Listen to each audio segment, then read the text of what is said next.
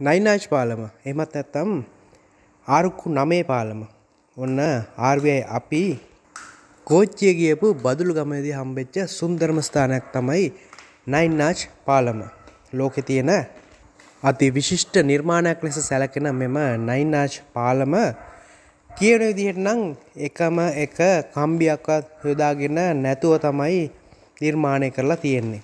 ඉතින් මේ වීඩියෝ එක අවසානයේ අපි සජීවීව ඔයාලට නයින්නාජ් පාලම හරහා අපි ගියපු ඒ දුම්රිය ගමන පෙන්වන්නටයි සූදානම් වෙන්නේ. එහෙනම් වීඩියෝ එක ඉවර වෙනකම් බලන්න. බලන්නකෝ මේ යකඩ යකා මේ පාලම උඩින් කෑ ගහගෙන හූ කියගෙන ගියාට මේ පාලමට දැනෙන්නේවත් නැහැ. එච්චර බරක් දරාගෙන මේ විශ්වකර්ම නිර්මාණය ඉතාමත් විශිෂ්ටව නිර්මාණය කරලා තියෙනවා. එනම් ඉතින් මතක් කරනවා අපේ බදුළු ගමනේ මේ වගේ වීඩියෝ ගොඩක් තව ඉස්සරහට ඔයාලා වෙනුවෙන්ම අපි අරගෙන එනවා. එතකන් අපිව සබස්ක්‍රයිබ් කරලා තියාගන්න. ඒ වගේමයි මේ වීඩියෝ එක ලයික් එකකුත් දාලා මේ වීඩියෝ එක වගේ යාළුවෙක්ටත් බලන්න ෂෙයා කරන්න.